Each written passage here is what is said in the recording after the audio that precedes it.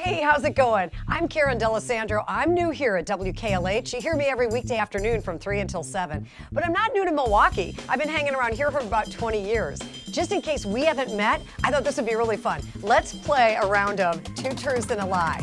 So basically, you're going to see three statements. One of them is complete BS. So let's go. What about this? Did I hang out with Def Leppard back in the 80s partying late nights more than once?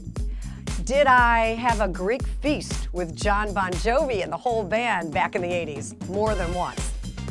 Did Cirque du Soleil come to me back in the 80s inviting me to do a guest spot at the Bradley Center more than once? Which one do you think is a lie?